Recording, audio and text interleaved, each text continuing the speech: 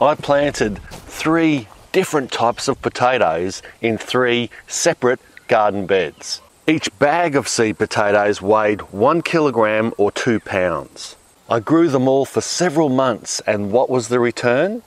G'day, I'm Mark from Self Sufficient Me and in this video we'll find out what return I got on my potato investment and I'll also chat about what kind of harvest you should expect when growing potatoes at home. Let's get into it.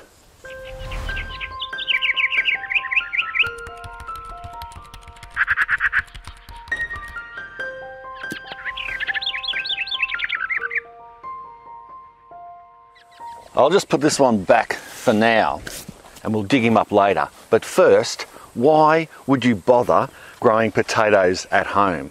I mean, they're as cheap as chips to buy in the supermarket or from a takeaway food store. Well, there are several good reasons why you should. Homegrown potatoes are extra fresh, and that makes a difference when eating and even how long they keep in the crisper or in the pantry or on the kitchen bench. Us backyard farmers don't need to spray the crop with a herbicide to weed or a pesticide to kill pests. We can do all that by hand and produce an organic spud free from chemicals. You can try other varieties that you don't often see in the supermarket. It's a bit like tomatoes. Some tomatoes taste amazing, but they don't transport very well or last very long on the shelf. Supermarkets and big ag hate these types of fruit and veg for obvious retail reasons, but you can grow them at home to enjoy because we don't have the market or stocking pressures. And even if the supermarket does stock the same variety as yours, yours will likely taste slightly different or perhaps even better because your soil and conditions are different to those mass grown on a farm. Think about the grape analogy, how the same variety grown in different locations can produce a different tasting or quality wine.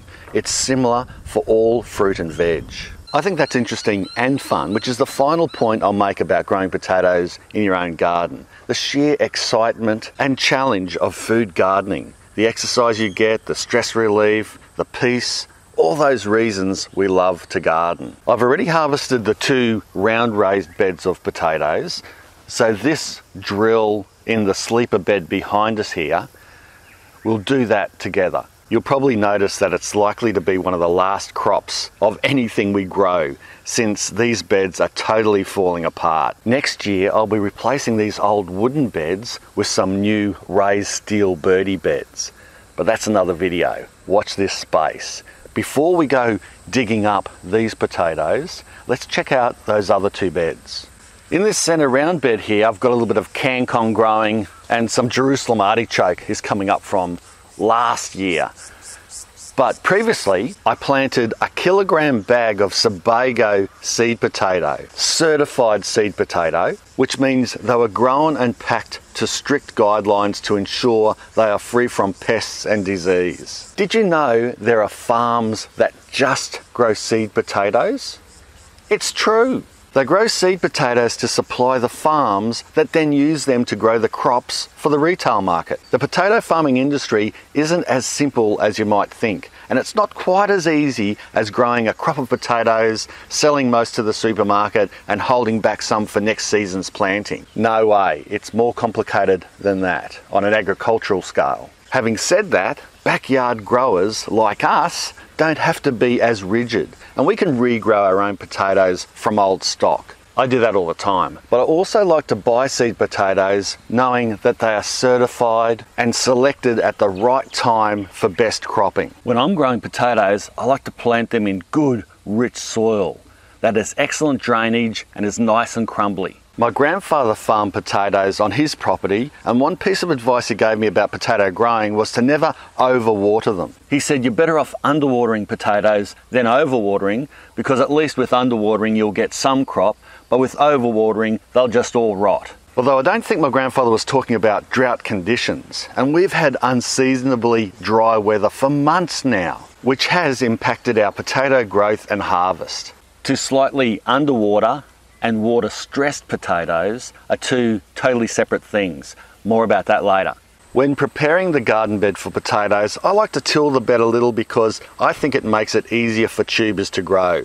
And I use some fertiliser at planting. A bit of blood and bone works well. Depending on how well the plants are growing, I may give another sprinkle of fertiliser at about the one month or so. I prefer our own compost and soil, but at times when I have a new bed or I don't have enough compost to go around, I will use the cheap bag commercial stuff when I need more medium or when backfilling as the potato plants grow. And then once the plants have mostly died back naturally on their own, that's the cue to harvest them. I prefer to dig with my hands where possible because forks tend to spear the tubers but often a garden fork is necessary. Especially when the going is hard, even for my big paws.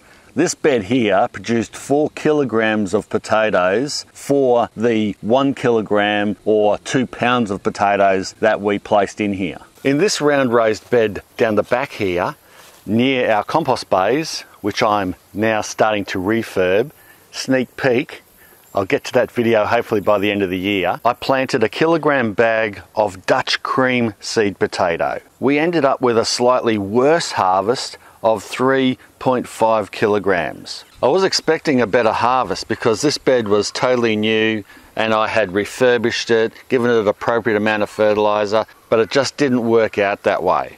Honestly, I'm not happy with that kind of return for obvious reasons. But now let's check out the sleeper bed where I planted a one kilogram bag of Nicola seed potatoes. Hopefully we'll have better luck this time. Let's start at this end.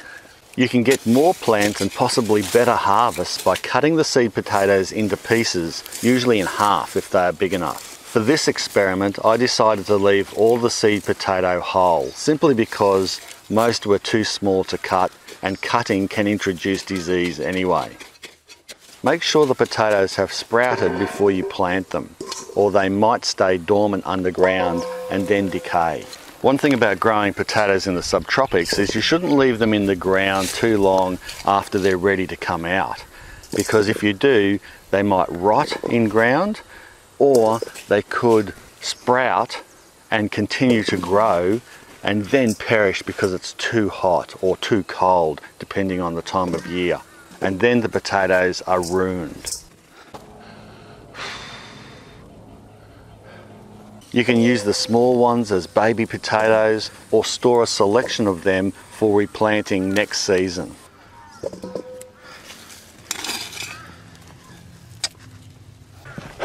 That's what happens when you use a gardening tool. Just knock the top off that one. How can I have to eat that for lunch? Potatoes take about three to four months from planting to harvest. In our area, we sow potatoes in autumn, around March, April, and again at the end of winter into spring, July, August. So twice a year. Starting to sprout. We can save that one.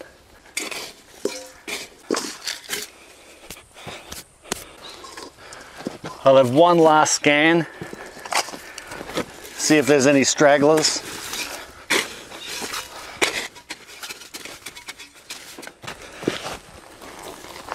No, the only straggler is this fella.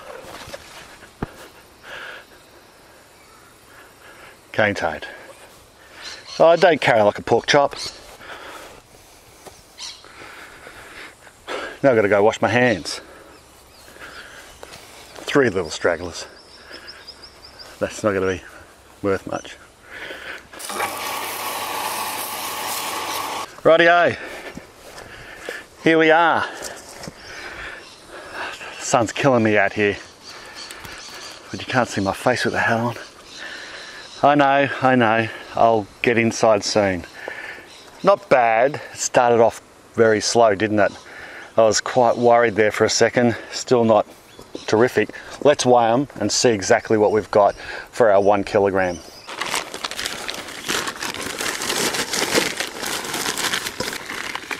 Yeah, barely three kilos. Thought so. That's the worst so far. There you go. I've selected some of the best ones.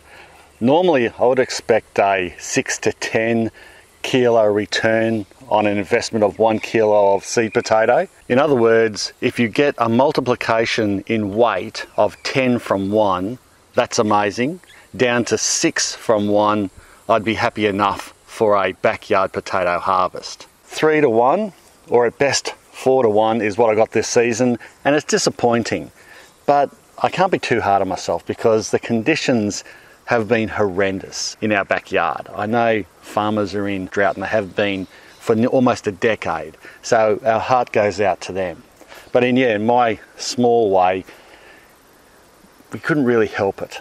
That's just the way backyard farming is. And just like farmers, backyard food gardeners do tend to have good and bad seasons. Temperatures, rainfall, pests, disease, even the variety of potato and many other factors contribute to the overall harvest. Yeah, I would have loved to have showed off a great big harvest and return off one kilogram, turning it into 10 or 12 kilograms of potatoes, but it wasn't to be.